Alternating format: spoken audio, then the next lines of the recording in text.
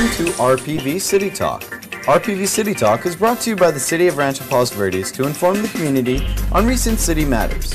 RPV City Talk is a weekly show that features the RPV mayor, city council, or city employees.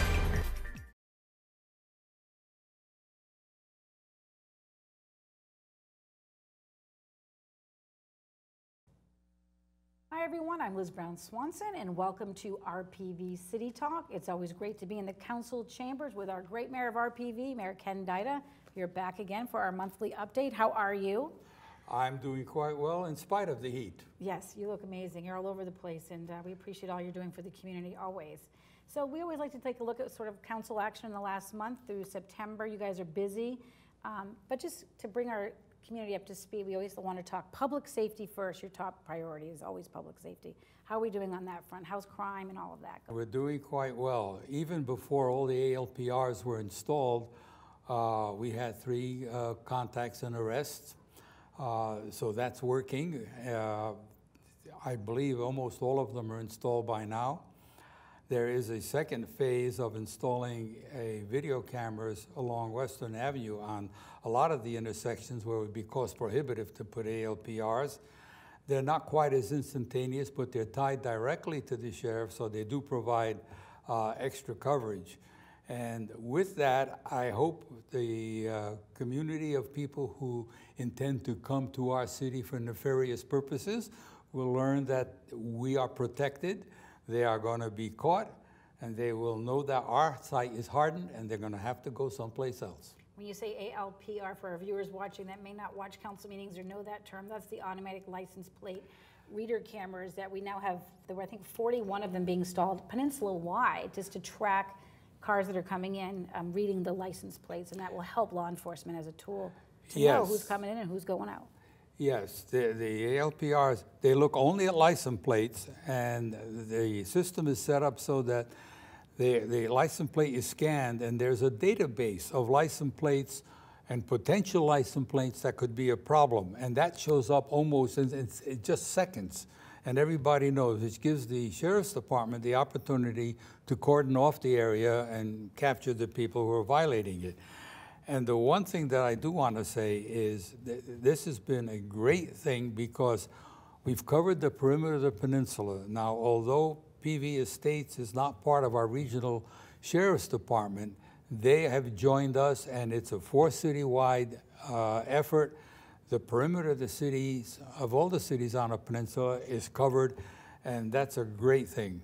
Right, and of course the city needed, the council decided to do this as multiple steps, the way you're increasing resources to stay on top of crime, to continue to keep RPV to be one of the safest communities really in the state. But you know what, one burglary feels like too much, right? So you got to be on it. Yes, it does. We've had a spike here a little more than a year ago uh, that really got everybody's attention. Uh, it's come down.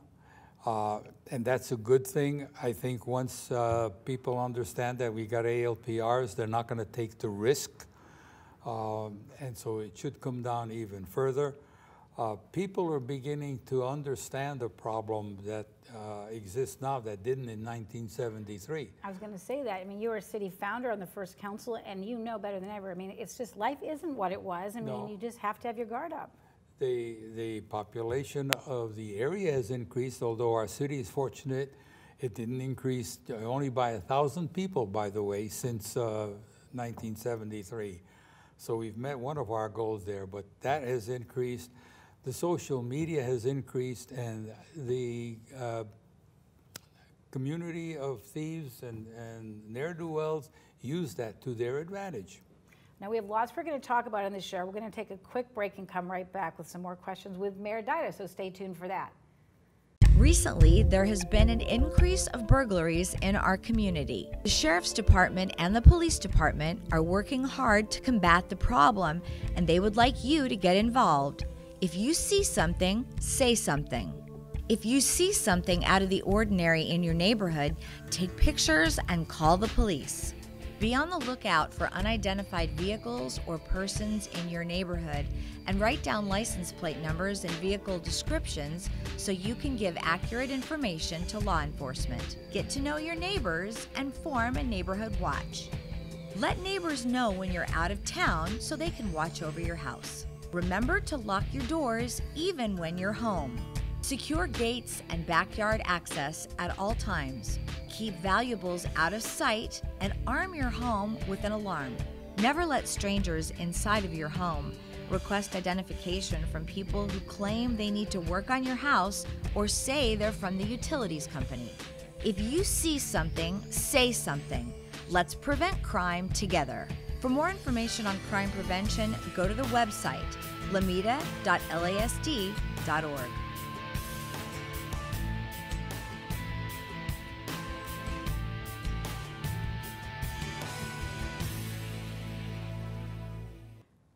Welcome back to RPV City Talk. I'm here with Mayor Dyda, and we are talking about public safety. Um, you gave us an update on the, how we're doing on the crime front, and now about emergency preparedness. September is National Preparedness Month, and um, you know, here in our community, we have all kinds of organizations like CERT trying to train everyone to be ready, be prepared. Um, how ready is this city if, in the event there is some, some type of disaster or emergency? Well, we're fortunate that we have an emergency preparedness committee that uh, has looked at all the issues, is trying to alert the public so that they can participate effectively when something happens. As far as the city being prepared, we have a manual. And this is the manual for this coming year for the mayor as to what our function would be and how we operate during an emergency.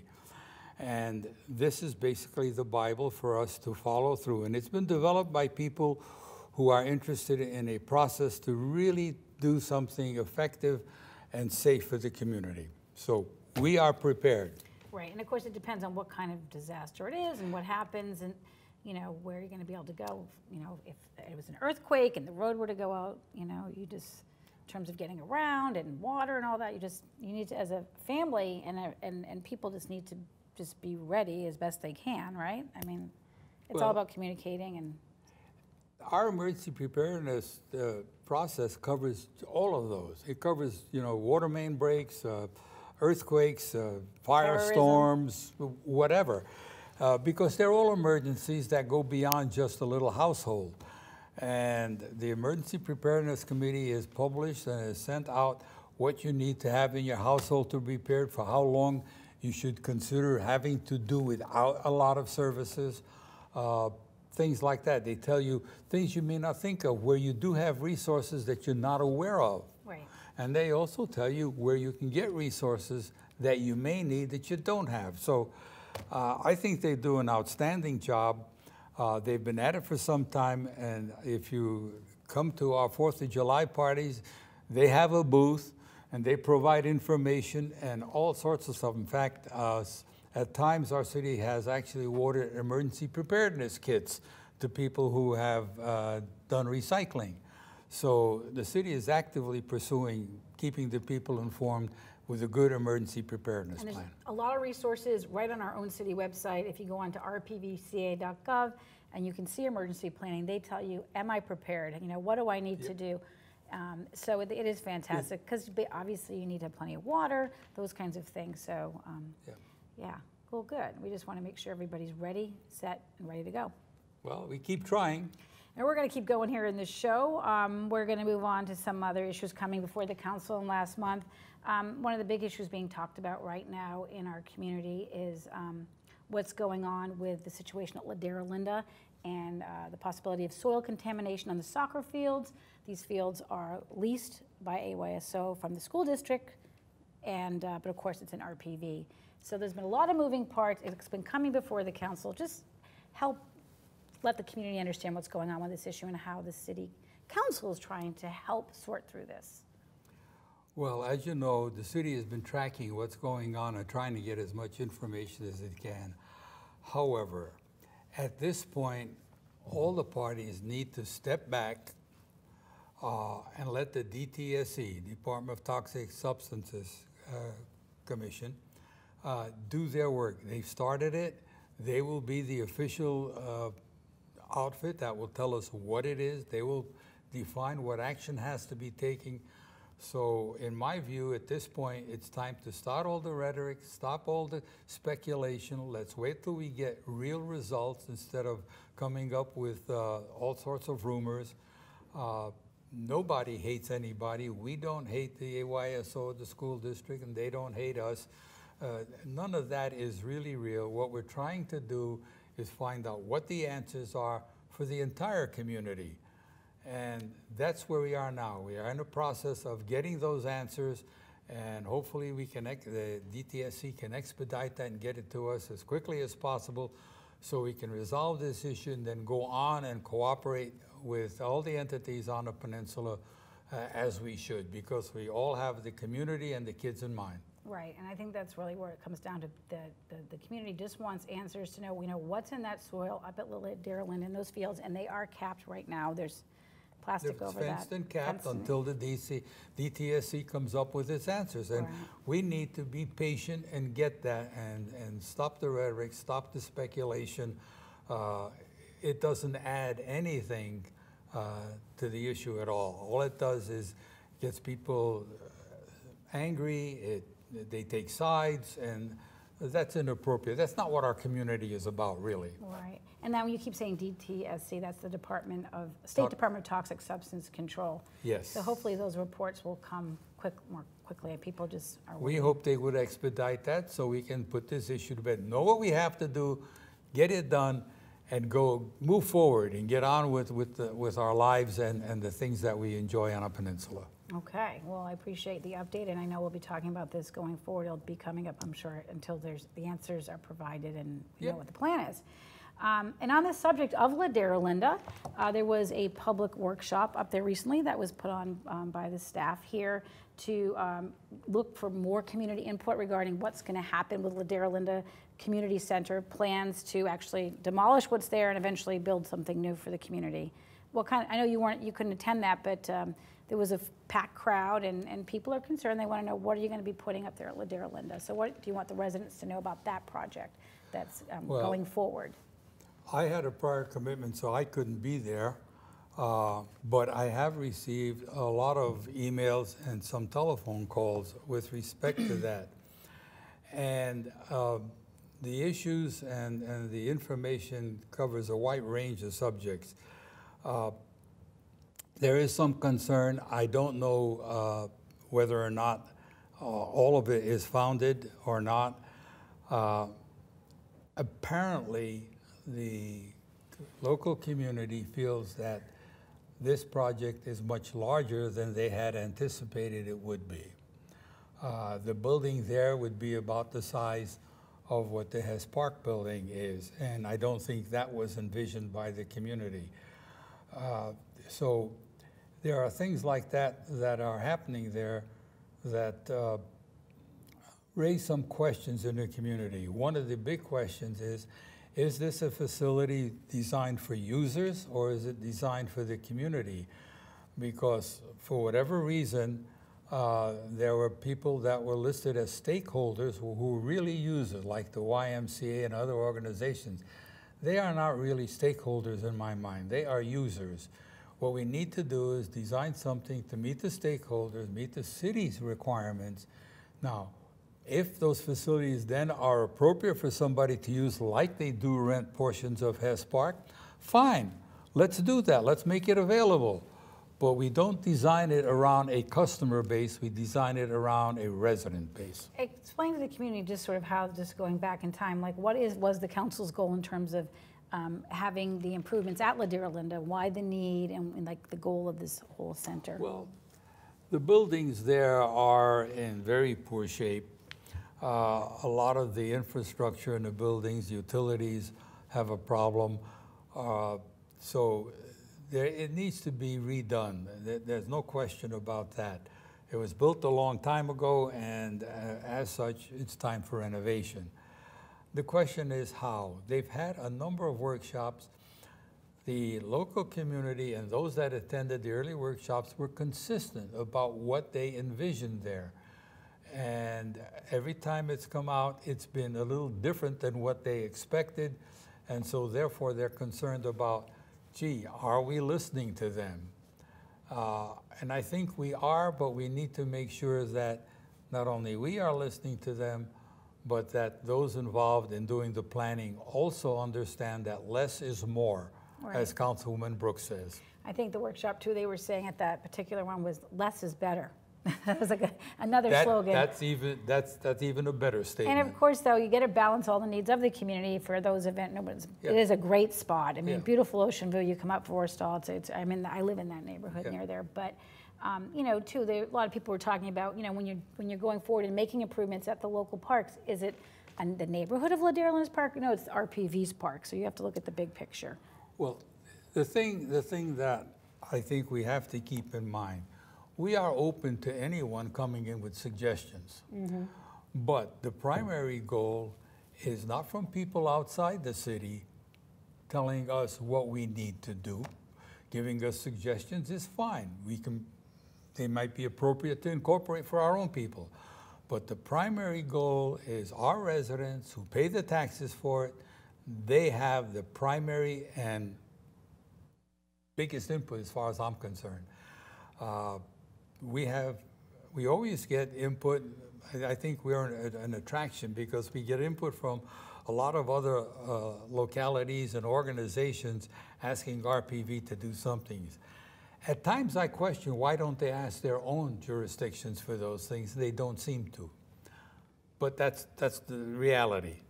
We have to emphasize the fact that our taxpayers are paying for it, they get the primary input. Mm-hmm. I think, was it Council Member Brooks always is saying we're becoming LA's playground. We have lots of fun places to come to in our PV. Well, you know, since 1973, the social media has changed things. When you have something as good as we have, the social media is going to capture it. And unfortunately, at times it's overdone and it impacts our residents to the point that they are almost prohibited from enjoying it for, their, for themselves. And after all, they pay the taxes to provide it. Um, Just to wrap up the Ladera Linda workshop conversation, so what's next for residents waiting to see the process in terms of when something will actually, uh, we're far from a ribbon cutting ceremony there. What, what happens next in the process? The workshop was basically to put together uh, the things that uh, were going to be included and how to design it, where the facilities would be. My understanding is that as a result of this workshop, there's going to be the possibility of another one. Okay, well, we'll stay tuned for that. You know, we're talking about uh, people coming into the city and wanting to be in RPV, which brings me to the next issues before the council, which was what to do about the short-term rental situation that's been proliferating in the city. And the council made a decision and voted four to one to absolutely ban short-term rentals, meaning 30 days or less, um, in residential neighborhoods. And that decision came after, I think the planning commission recommended, well, let's maybe keep them, but with restrictions. You decided, nope, let's just, there, there, there's no exception, no short-term rentals. Why did you go that way? The issue for me is very is a very simple one. We are not a commercial city. Single family residential zoning is not commercial zoning.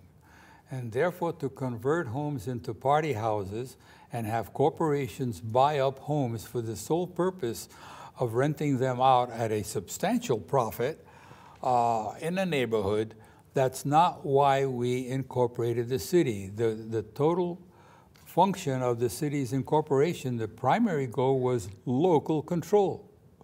We were controlled by the county 30 miles away. We didn't like that. And we wanted local control. And that's what it's about.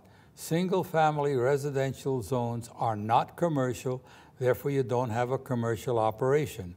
When you have corporations buying three or more homes and using them for that purpose only, if you don't stop it now and you permit it, it's going to get rampant and you're going to destroy the reason we incorporated the city.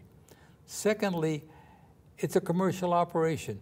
We, we are not in to make TOT out of single family residential zones or permit fees and things like that. That makes it commercial again, and that's not what this city is about.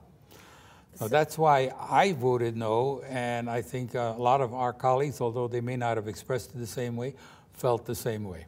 Right. I mean, you had a lot of testimony from on both sides, the people that are using them, and let's face it, there are people that are renting out rooms probably in a very responsible way and maybe helping bring income. But like again, in the end, it's it's a business operation, and that you know Yes. doesn't belong in a residential neighborhood.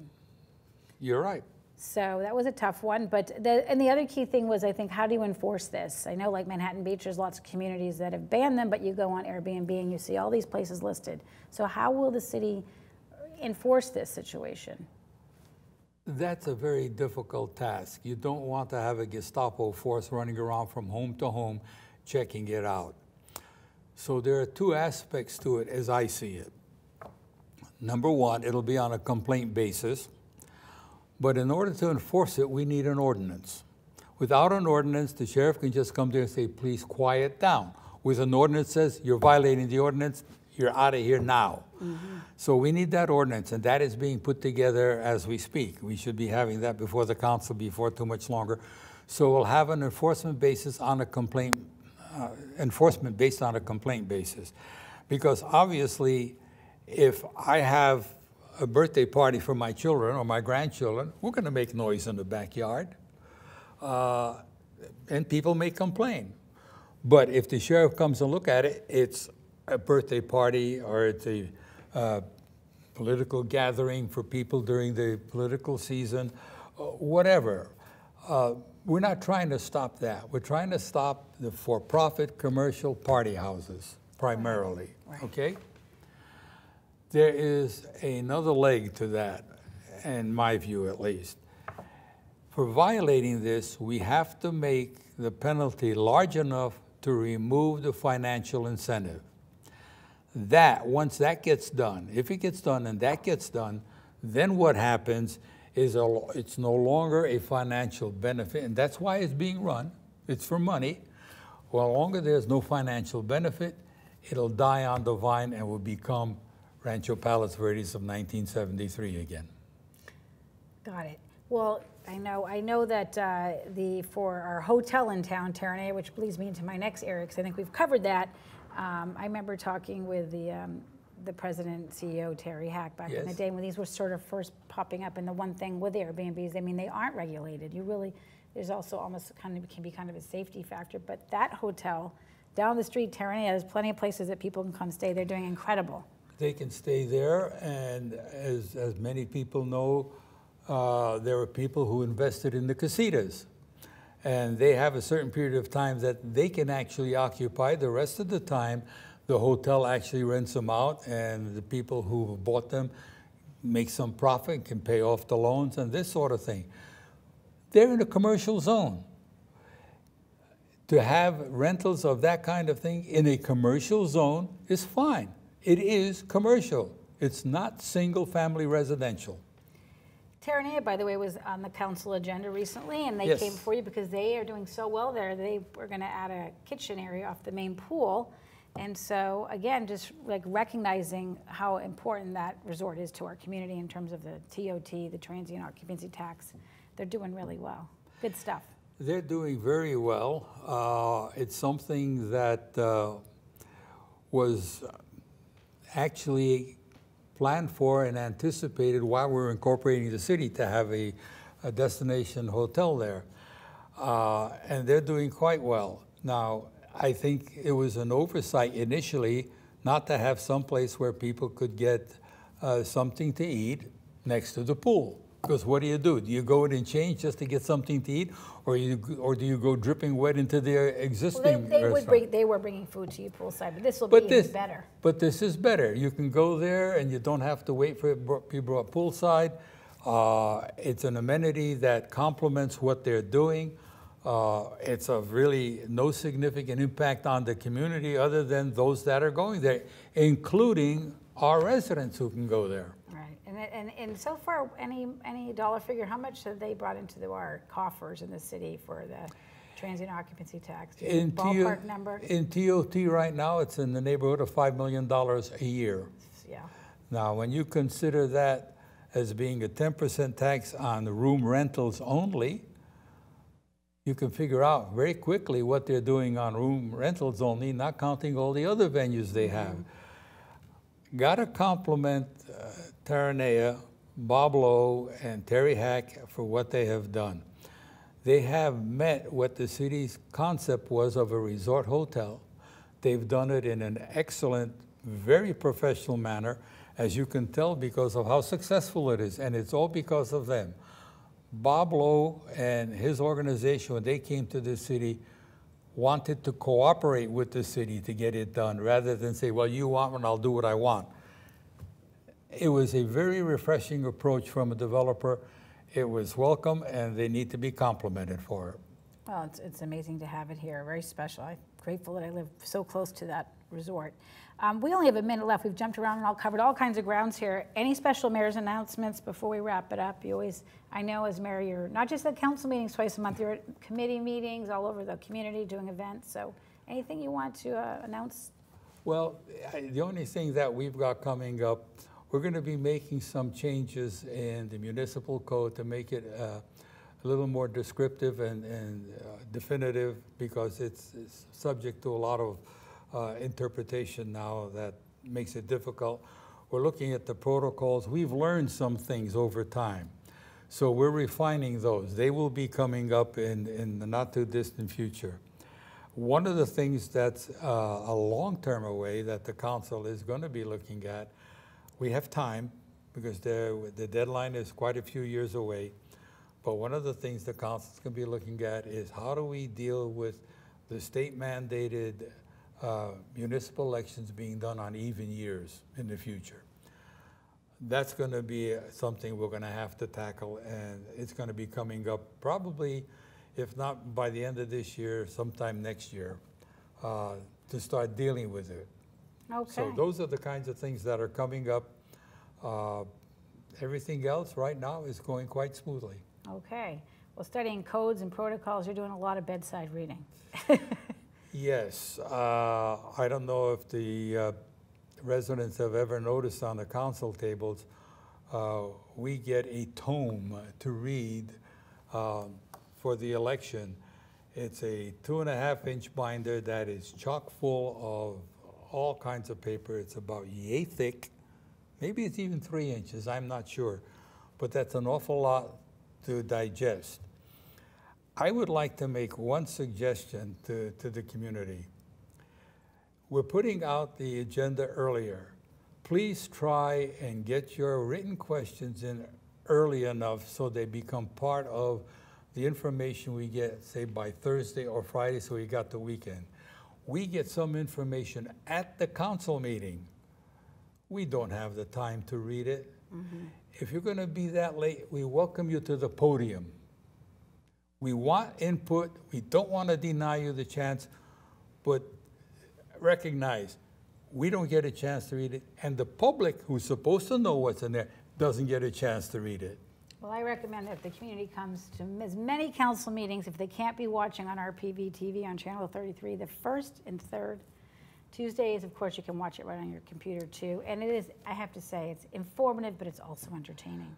Well, you get this to get to see the inside of how the decisions are made rather than just a decision. And please fill the council chamber, and if there's an overflow, we've got closed circuit TV in a fireside room, and you can join us there. All right. Love to have you. Well, Mayor Dottie, we love having you here and uh, bringing us up to speed, and we'll see you uh, next month. Look forward to it. Thank you. That'll do it for this edition of RPV City Talk. I'm Liz Brown Swanson. Thanks for watching. Have a great day, everybody.